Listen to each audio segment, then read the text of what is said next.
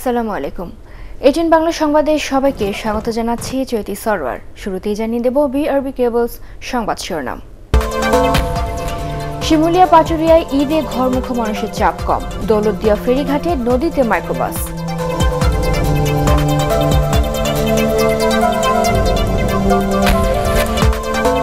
দূরপাল্লার বাস না থাকলেও বিকল্প বাহনে ঢাকা ছাড়ছে মানুষ। বাধা দিচ্ছে না পুলিশ।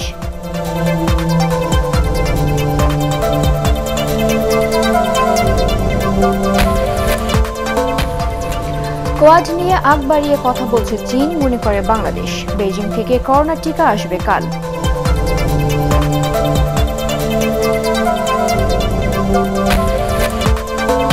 প্রথমবারের মতো জনসম্মুখে এলো মেট্রো রেল, জুন মাসেই প্রথম পর্বে ট্রায়াল।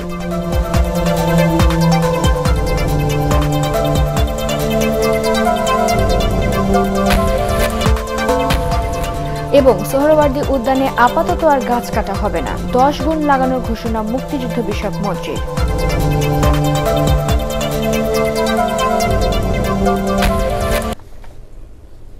শুনছিলেন বিআরবি কেবলস সংবাদ শিরোনাম। এবার বিস্তারিত সংবাদ। মুন্সীগঞ্জের শিমুলিয়া ঘাটে গত কয়েকদিনের তুলনায় ঈদে ঘরমুখ মানুষের চাপ অনেকটা কম। ঘাট সংশ্লিষ্টরা জানিয়েছেন, সকালে শিমুলিয়া থেকে দশটি ফেরি যাত্রী নিয়ে ছেড়ে যাওয়ায় ঘাটে তেমন ভিড় নেই।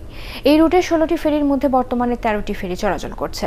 পুলিশ জানিয়েছে, যাত্রীবাহী ব্যক্তিগত গাড়ি ও মাইক্রোবাস নিয়ে যাতে ফেরিতে উঠতে না পারে, সেজন্য ঘাট থেকে দুই কিলোমিটার দূরে যাত্রীদের নামিয়ে দেওয়া হচ্ছে। তবে ঘাট এলাকায় কেউ মানছেন না সামাজিক দূরত্ব কিংবা অন্য কোনো স্বাস্থ্যবিধি। এদিকে পাটুরিয়া ঘাটে সোমবার স্বাভাবিকভাবে ফেরি চলাচলের ঘোষণা দেওয়া হলেও সকালে এই নির্দেশনা কার্যকর হয়নি। সকাল এগারোটার দিকে যাত্রী চাপ বাড়তে থাকায় ফেরি চলাচল মোটামুটি স্বাভাবিক হয়। তবে ঝড় বৃষ্টির কারণে ফেরি চলাচল কিছু সময় বিঘ্নিত হয়।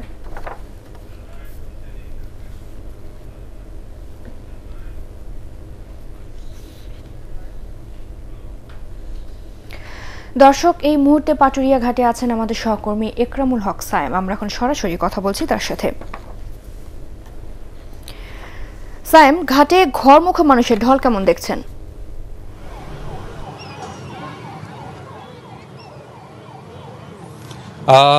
চৈতি যে ঢলের কথা বলছেন, সেই ঢলটি এখন মোটামুটি স্বাভাবিকই বলা যায়। আমি যেই পল্টনটিতে রয়েছি, এই পল্টনেই কিছুক্ষণ আগে একটি ফেরি ছেড়ে গেছে। সেই ফেরিতে খুব অনেক মানুষের ঢল ছিল, বিষয়টি সেরকম নয়। তবে ব্যক্তিগত গাড়ি এবং পণ্যবাহী ট্রাকও বোঝাই ছিল এবং আমার পেছনে আপনি দেখতে পাচ্ছেন বিশিষ্ট জাহাঙ্গীর। এই ফেরিটি এখন চলাচলের প্রস্তুতি নিচ্ছে। কিছুক্ষণের মধ্যেই সেটি ছেড়ে যাবে এবং এক এক করে প্রায় প্রত্যেকটি পল্টন থেকেই ফেরিগুলো ছেড়ে গেছে। কিছুক্ষণের মধ্যে অনেকগুলো ফেরি ছেড়ে গেছে এবং সেগুলো ফিরেও আসছে। মোটামুটি এই ঘাটের পরিস্থিতি এখন স্বাভাবিকই বলা যায়। আপনি জানেন যে গতকালকে একটি নির্দেশনা এসেছিল যে সবগুলো ফেরি স্বাভাবিকভাবেই চলবে। কিন্তু সকালে সেই নির্দেশনাটি বাস্তবায়ন হতে আমরা দেখিনি। অনেকেই এমন খবর শুনে ঘাটে এসেছিলেন বাড়িতে ফেরার জন্যে। যদিও ঘাটে এসে দেখছেন যে ফেরি স্বাভাবিকভাবে চলাচল করছিল না। যাত্রীদের অনেক চাপ দেখে পরে বিএডাব্লিউটিসি অবশ্য সেই নির্দেশনাটি বাস্তবায়ন করে যে ফেরি চলাচল স্বাভাবিক করার ঘোষণা দেয়। এবং সেই ফেরি চলাচলটি স্বাভাবিক করার পরে তখন কিন্তু যাত্রী চাপ কিছুটা কমতে থাকে এবং যাত্রীরা মোটামুটি স্বাচ্ছন্দ্যে ফেরিতে চলাচল করছেন। জি স্যাম আপনাকে ধন্যবাদ। দর্শক পাটুরিয়া ঘাট থেকে কথা বলছিলাম আমাদের সহকর্মী একরামুল হক সাইমের সাথে। রাজবাড়ির দৌলতদিয়া ফেরিতে উঠতে গিয়ে পন্টুনের রশি ছিঁড়ে একটি মাইক্রোবাস পদ্মা নদীতে ডুবে গেছে। প্রত্যক্ষদর্শীরা জানান, দুপুরের দিকে কালবৈশাখী ঝড়ের মধ্যে পাঁচ নম্বর ঘাটের পন্টুন থেকে মাইক্রোবাসটি ফেরিতে ওঠার চেষ্টা করে। এ সময় ফেরির সামনে বাঁধা রশি ছিঁড়ে গেলে মাইক্রোবাসটি নদীতে পড়ে যায়। তখন মাইক্রোবাসের চালক ভেতর থেকে হাত উঁচিয়ে বাঁচানোর আকুতি জানান। খবর পেয়ে ফায়ার সার্ভিস সদস্যরা গিয়ে উদ্ধার অভিযান শুরু করেন। তবে মাইক্রোবাসের ভেতরে যাত্রী ছিল কিনা তা কেউ নিশ্চিত করে বলতে পারছে না। ঘাট সংশ্লিষ্টরা জানিয়েছেন, ঘটনাস্থলে উদ্ধারকারী জাহাজ হামজা নেওয়া হয়েছে।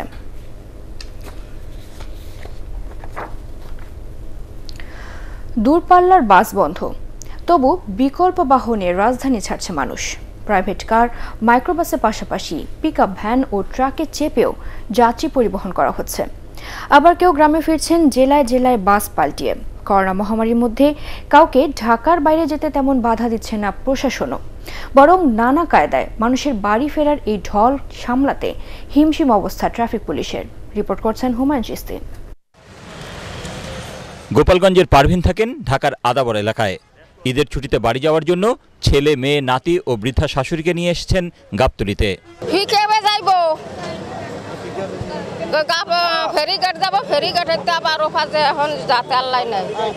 গাবতলি যাত্রাবাড়ি বা উত্তরা রাজধানীর সবগুলো প্রবেশ মুখে এমন মানুষের স্রোত।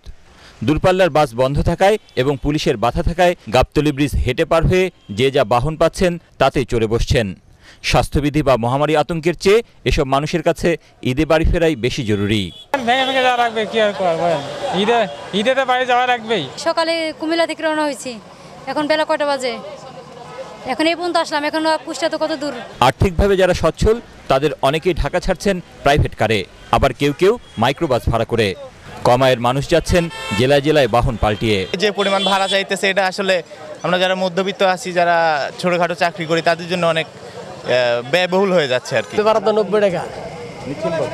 নিতাছি তিনশো টাকা করে। মানুষ খুলে দিছে বাজার খুলে দিছে সবই তো খোলা। খালি ঈদের সামনে খালি গরিব পরিবহনের সমস্যা হয়। এদিকে রাজধানীতে গাড়ির চাপ দেখে কোনো রকম বোঝার উপায় নেই লকডাউন চলছে। যেগুলো চলাচলের অনুমতি আছে যেমন ডাক্তারের গাড়ি গার্মেন্টসের গাড়ি সেগুলো যেতে দিচ্ছি আমরা। বাট যেগুলো অনুমতি নেই সেগুলো আমরা চেক করতেছি। যেসব যুক্তিতে দূরপাল্লার বাস বন্ধ রাখা হয়েছিল তা অনেকটাই ভেস্তে গেছে মহাসড়কে অন্য যানবাহনে ব্যাপক যাত্রী পরিবহনে। সরকারি সকল বিধিনিষেধ ও স্বাস্থ্যবিধির বিন্দুমাত্র তোয়াক্কা না করে মানুষের এমন অবাধ চলাচল বহুগুণে বাড়িয়ে দিচ্ছে করোনা সংক্রমণের ঝুঁকি। সেই সাথে আছে করোনা ভাইরাসের ভারতীয় ভ্যারিয়েন্টের সংক্রমণ ও বিস্তারের শঙ্কাও আর এমনটা ঘটলে আমাদের মুখোমুখি হতে হবে কঠিন পরিস্থিতির। এমনই মনে করছেন বিশেষজ্ঞরা। হুমায়ুন চিস্তি এটিএন বাংলা ঢাকা। এর আগে রাতের আধারে যে যেভাবে পেরেছেন ঢাকা ছেড়েছেন। অসংখ্য মানুষ জীবনের ঝুঁকি নিয়ে ট্রাক মাইক্রোবাস ও মোটরসাইকেল সহ বিভিন্ন যানবাহনকে বেছে নিয়েছেন বাড়ি ফিরতে। চেকপোস্ট বসিয়ে বেশ কয়েকটি যানবাহন জব্দ করেছে পুলিশ। তারপরও ঠেকানো যায়নি মানুষের বাড়ি ফেরা। রিপোর্ট করছেন মনির হোসেন তপু। করোনার সংক্রমণ কমাতে চলছে লকডাউন। বন্ধ দূরপাল্লার বাস। ঈদে বাড়ি যেতে নিরুৎসাহিত করা হলেও কোনোভাবেই ঠেকানো যাচ্ছে না ঘরমুখ মানুষের স্রোত। রাজধানীর কারণ বাজারে সন্ধ্যার পর থেকে বাড়ি ফিরতে এভাবেই ভিড় করতে শুরু করে নিম্ন আয়ের খেটে খাওয়া মানুষ। একদিকে জীবনের ঝুঁকি, অন্যদিকে করোনায় আক্রান্তের ভয়। তারপরও ট্রাকে গাদাগাদি করে যেতে হচ্ছে তাদের। তিন মাস হচ্ছে আমি রিক্সা চালাই। পোলা পানলে ঈদ করার জন্য দেশে না গেলে কেমন লাগে? রেখে যাব। যা নামবো পীরগঞ্জে। বাড়িতে বেটি জামাই আছে তার সাথে দেখা সাক্ষাৎ করা লাগবে নতুন জামাই না গেলে তো কাজ হবে না। মাস্ক আছে এই গাড়িতে এইমাত্র নামলাম তো। ভাড়ার কোনো কথাবার্তা নাই এই যে যা দেয়। এদিকে মধ্যবিত্তরা নারীর টানে বাড়ি ফিরতে বেছে নিচ্ছেন ভাড়া করা মাইক্রোবাস কিংবা প্রাইভেট কার। গুনছেন বাড়তি ভাড়া। কত টাকা ভাড়া আসছেন? স্যার বারো হাজার টাকা। বারো হাজার টাকা। যাবেন কুমিল্লা? জি। এইভাবে যাচ্ছেন কেন? আপনারা আপনার তো যাওয়া নিষেধ। স্যার সবাই বাড়ির কান্দাকাটি করতেছে ঈদ করার জন্য যাইতেছি স্যার। রাজধানী ছাড়ার সময় ফকিরাপুল মোড়ে চেকপোস্টে জব্দ করা হয় বেশ কয়েকটি মাইক্রোবাস। এই মাইক্রোবাসে করে গায়ে গায়ে লেগে গাদাগাদি করে যাচ্ছে এটা টোটালি ঝুঁকিপূর্ণ। এই গাড়িগুলোকে আমরা আটক করেছি এবং যাত্রী সাধারণকে আমরা বিনীতভাবে অনুরোধ করছি যে আপনারা এইভাবে স্বাস্থ্য ঝুঁকি নিয়ে যাবেন না। আপনজনের সাথে ঈদের আনন্দ ভাগাভাগি করতে মধ্যরাতেও অনেককে দেখা যায় পরিবার পরিজন নিয়ে রাস্তায় দাঁড়িয়ে গাড়ির জন্য অপেক্ষা করতে। মনির হোসেন তপু এটিএন বাংলা ঢাকা বাংলাদেশের কোয়াডে যোগ দেওয়া নিয়ে চীন আগ বাড়িয়ে কথা বলছে বলে মন্তব্য করেছেন পররাষ্ট্রমন্ত্রী ডক্টর এ কে আব্দুল মোমেন। রাষ্ট্রীয় অতিথি ভবন পদ্মায় নেপালকে করোনা মোকাবেলায় ওষুধ ও স্বাস্থ্য সুরক্ষা সামগ্রী প্রদান অনুষ্ঠান শেষে তিনি এ মন্তব্য করেন। এ সময় স্বাস্থ্যমন্ত্রী জাহেদ মালিক জানান, এ বছরই চীন থেকে অন্তত পাঁচ কোটি ডোজ করোনা টিকা কিনতে চায় বাংলাদেশ। ইমদাদুল্লাহ বাবুর রিপোর্ট। যুক্তরাষ্ট্র, জাপান, অস্ট্রেলিয়া ও ভারতকে নিয়ে গঠিত চার দেশীয় সুরক্ষা সংলাপের কৌশলগত জোট কোয়াডে বাংলাদেশের অংশগ্রহণ নিয়ে উদ্বিগ্ন চীন। সোমবার এক ভার্চুয়াল মতবিনিময় সভায় চীনা রাষ্ট্রদূত লি জিমিং বলেন, বাংলাদেশ কোয়াডে যোগ দিলে দুই দেশের সম্পর্ক খারাপ হতে পারে। রাষ্ট্রদূতের এমন মন্তব্যের পর বিভিন্ন মহলে সমালোচনার ঝড় উঠেছে। মঙ্গলবার এক অনুষ্ঠানে এ প্রসঙ্গে পররাষ্ট্রমন্ত্রী ড এ কে আব্দুল মোমেন জানান, বাংলাদেশ স্বাধীন সার্বভৌম দেশ হিসেবে কোয়াডের বিষয়ে সিদ্ধান্ত নেবে। এ ব্যাপারে চীনা রাষ্ট্রদূতের বক্তব্য আগ্রাসী ও দুঃখজনক বলেও মন্তব্য করেন মন্ত্রী। ন্যাচারালি তিনি একটি দেশের প্রতিনিধিত্ব করেন। তারা হয়তো এটা চায় না। তিনি তারা বক্তব্য বলবেন। যে প্রতিষ্ঠানের কথা বলেছেন, সেই প্রতিষ্ঠানের লোকজনও আমাদের কাছে এখনও অ্যাপ্রোচও করে নাই। হ্যাঁ? এটা একটু আগ বেড়ে বলা বলি হয়েছে। আমরা এটারে খুব একটা এই উনি বলেছেন ফাইন দ্যাটস মাচ এটা নিয়ে আমাদের কিছু বিশেষ বক্তব্য নাই। এ সময় স্বাস্থ্যমন্ত্রী জাহিদ মালিক জানান উপহার হিসেবে দেয়া চীনের পাঁচ লাখ ডোজ করোনা টিকা বুধবার দেশে আসবে। দ্বিতীয় ডোজ হাতে রেখেই এই টিকা ব্যবহার করা হবে। তারা পাঁচ লক্ষ দিচ্ছে। আমরা লেটার অফ ইন্টারেস্টও পাঠিয়েছি ক্রয় করার জন্য। আমাদের চাহিদা থাকবে যে আমাদেরকে অন্তত চার পাঁচ কোটি ডোজ তারা ইনিশিয়ালি দিক। আরও বেশি দিলেও আমরা নিব। এর আগে করোনা মোকাবিলায় জরুরি ওষুধ ও স্বাস্থ্য সুরক্ষা সামগ্রী নেপালের রাষ্ট্রদূত ড. বানসিধর মিশ্রার হাতে তুলে দেয়া হয়। ইমদাদুল্লাহ বাবু, এটিএন বাংলা, ঢাকা। প্রথমবারের মতো জনসম্মুখে আনা হলো মেট্রো রেল। ইঞ্জিন সহ ছয়টি বগির এক সেট ট্রেন ডিপো থেকে আনলোডিং এলাকায় নিয়ে আসা হয়। প্রকল্প পরিচালক, জাপানি রাষ্ট্রদূত ও জায়কার প্রতিনিধি এ সময় উপস্থিত ছিলেন। অনুষ্ঠানে বক্তারা বলেন, মেট্রো রেলের মধ্য দিয়ে গণপরিবহন জগতে নতুন যুগে প্রবেশ করবে বাংলাদেশ। এ সময় সড়ক পরিবহন ও সেতুমন্ত্রী ওবাদুল কাদের ভার্চুয়ালি যুক্ত হয়ে বলেন আনুষঙ্গিক কিছু পরীক্ষা নিরীক্ষার পর আগস্টে মূল লাইনে উঠবে এই ট্রেন। এরপর স্টেশনগুলোর সাথে সমন্বয় বা ইন্টিগ্রেটেড টেস্ট এবং পারফরমেন্স টেস্টের পর সর্বসাধারণের জন্য উন্মুখ হবে মেট্রো রেলের এমআরটি ছয় লাইন। রাজধানীর ঐতিহাসিক সোহরওয়ার্দী উদ্যানে আপাতত আর গাছ কাটা হবে না। যত গাছ কাটা হয়েছে, তার দশ গুণ গাছ লাগানো হবে বলে জানিয়েছেন মুক্তিযুদ্ধ বিষয়ক মন্ত্রী আ ক ম মোজাম্মেল হক। মুক্তিযুদ্ধ মন্ত্রণালয়ের মিলনায়তনে সংবাদ সম্মেলনে তিনি আরও বলেন, মুক্তিযুদ্ধের সঠিক ইতিহাস সংরক্ষণের স্বার্থে মুক্তিযুদ্ধ ও মুক্তি সংগ্রামের সাথে সম্পর্কিত উদ্যানের সব ঐতিহাসিক স্থান যথাযথ মর্যাদায় সংরক্ষণ করা হবে। তিনি জানান, পঞ্চাশটি গাছ কাটা হয়েছে, আরও পঞ্চাশটি কাটার পরিকল্পনা ছিল। তবে গাছ কাটা কত কমানো যায় সে বিষয়ে পরিবেশবিদের নিয়ে একটি কমিটি করা হয়েছে। মুক্তিযুদ্ধ বিষয়ক মন্ত্রী বলেন, তারা আদালতের প্রতি শ্রদ্ধাশীল। আইন মেনেই উদ্যান উন্নয়নের কাজ চলছে। পরিকল্পনায় কিছু ত্রুটি বিচ্যুতি থাকতে পারে। তাই পরিবেশবিদের সাথেও বসা হবে বলে জানান আ ক ম মোজাম্মেল হক।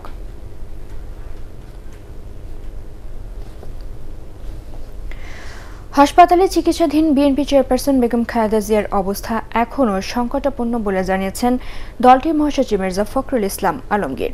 বিএনপি চেয়ারপারসনের গুলশান কার্যালয়ের সংবাদ সম্মেলনে তিনি কথা জানান। সরকার যে কারণে বেগম জিয়ার বিদেশে চিকিৎসার আবেদন নাকচ করে দিয়েছে, তা অগ্রহণযোগ্য দাবি করে তিনি বলেন, অতীতে সাজাপ্রাপ্ত ব্যক্তির দেশের বাইরে চিকিৎসার নজির রয়েছে। রাজনৈতিক প্রতিহিংসার কারণেই তিনি সরকারের আক্রোশের শিকার অভিযোগ করে মির্জা ফখরুল বলেন, ভবিষ্যতে জনগণ এর জবাব দেবে। জানিয়ে দেব শেয়ার বাজারের খবর।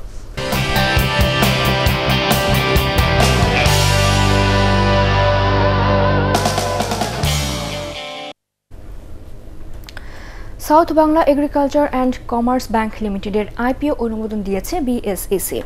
দশ টাকা অভিহিত মূল্যে দশ কোটি সাধারণ শেয়ার ছেড়ে পুঁজি বাজার থেকে একশো কোটি টাকা সংগ্রহ করবে ব্যাংকটি।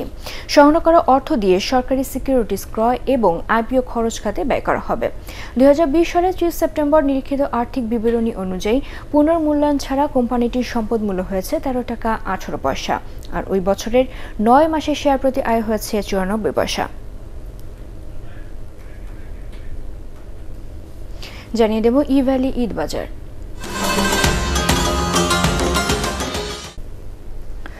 পছন্দের পোশাকের সাথে নতুন জুতা না হলে যেন ঈদের পরিপূর্ণতা পায় না আনন্দ। তাই জুতার দোকানে ভিড় ক্রেতাদের। এবার করোনা ভাইরাসের কথা মাথায় রেখে কিছুটা সাশ্রয় মূল্যে জুতা এনেছেন দোকানিরা। আরও জানাচ্ছেন রাবে একটা সুবর্ণা।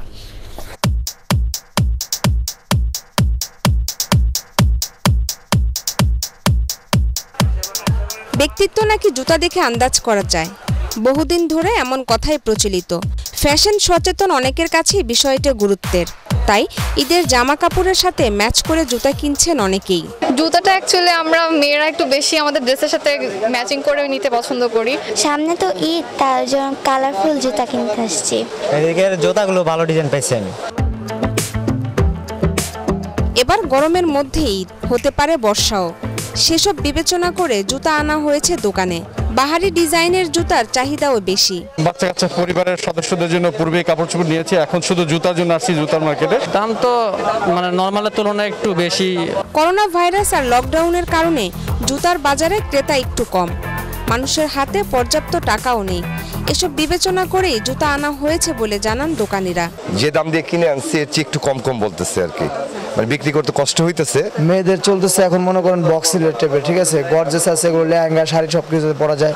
ছেলেদের আছে মনে করেন সেভেন হান্ড্রেড বুশ তারপর বাসন টু আছে। শেষ মুহূর্তে বিক্রি আরও বাড়তে পারে বলে আশা করছেন দোকানিরা। তবে একটা সুবর্ণা এটিএন বাংলা ঢাকা। এবারে আল আরাফা ইসলামী ব্যাংক অর্থ সংবাদ।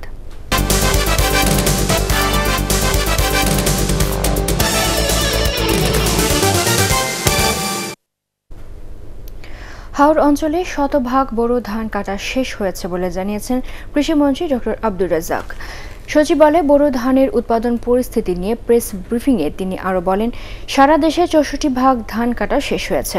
চলতি মাসের মধ্যে বাকি ধান কাটা শেষ হবে।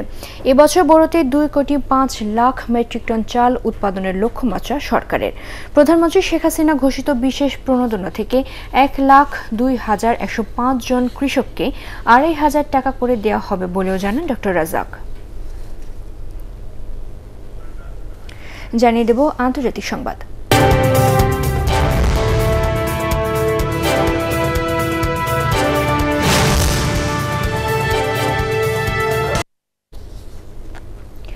করোনা ভাইরাসের নতুন ধরনকে পুরো বিশ্বের জন্যই মাথা ব্যথার কারণ বলে জানিয়েছে বিশ্ব স্বাস্থ্য সংস্থা।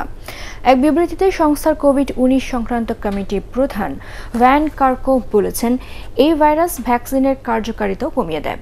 এদিকে বারো থেকে পনেরো বছরের শিশুদের জন্য ফাইজারের টিকার অনুমতি দিয়েছে যুক্তরাষ্ট্রের Food and Drug Administration AFDA জানিয়ে দেব ইফতারের সময়সূচি।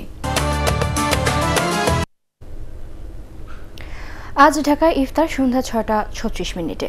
রাজশাহীতে ছটা চুয়াল্লিশ মিনিট, চট্টগ্রামে ছটা উনত্রিশ মিনিট, সিলেটে ছটা বত্রিশ মিনিট, খুলনায় ছটা উনচল্লিশ মিনিট, বরিশালে ছটা পঁয়ত্রিশ মিনিট, রংপুরে ছটা চুয়াল্লিশ মিনিট এবং ময়মনসিংহে ইফতার সন্ধ্যা ছটা আটত্রিশ মিনিটে।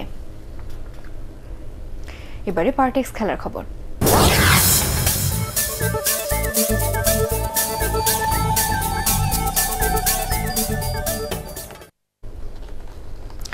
বিশ্বকাপ ও এশিয়ান কাপের বাছের প্রস্তুতি শুরু করতে ঢাকায় ফিরেছেন বাংলাদেশ জাতীয় ফুটবল দলের কোচ জেমিডে। তার সাথে এসেছেন দলের গোলরক্ষক কোচ লেস ক্লিভেলিও। তবে কোভিড প্রোটোকল অনুযায়ী, সরকারের নির্দেশ অনুযায়ী তাদের পাঁচ দিনের কোয়ারেন্টিনে থাকতে হবে। গত মার্চে নেপালে ত্রিদেশীয় প্রীতি ফুটবল টুর্নামেন্ট শেষে ছুটি নিয়ে ইংল্যান্ডে গিয়েছিলেন জেমিডে তাদের সাথে ঢাকায় আসার কথা ছিল সহকারী কোচ স্টুয়ার্ট ওয়াটকিসেরও তবে কোভিড রিপোর্ট না পাওয়ায় আসতে পারেননি তিনি।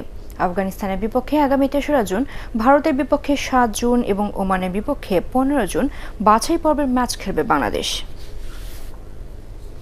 শেষ করার আগে বিআরবি কেবলস সংবাদ শিরোনাম জানিয়ে দেব আরও একবার। শিমুলিয়া পাটুরিয়ায় ঈদে ঘর মুখ মানুষের চাপ কম। দৌলতিয়া ফেরিঘাটে নদীতে মাইক্রোবাস।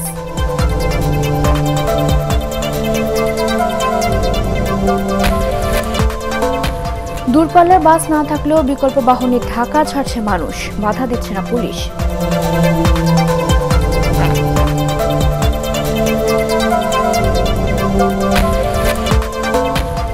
কোয়াড নিয়ে আগ বাড়িয়ে কথা বলছে চীন, মনে করে বাংলাদেশ। বেজিং থেকে করোনা টিকা আসবে কাল।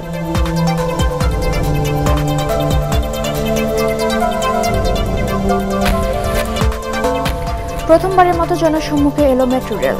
জুন মাসে প্রথম পর্বে ট্রায়াল।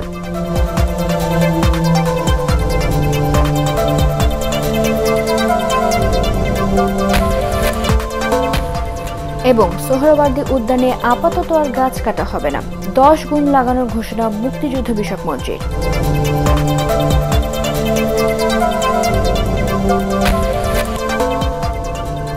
পরবর্তী সংবাদ দেখার আমন্ত্রণ জানিয়ে এখনকার মতো শেষ করছি। করোনা ভাইরাস থেকে নিজেকে সুরক্ষিত রাখতে মাস্ক পরুন এবং বারবার হাত পরিষ্কার করুন। এটিএন বাংলা সংবাদ ইউটিউবে দেখতে ব্রাউজ করুন, YouTube slash ATN Bangla news. ধন্যবাদ সবাইকে।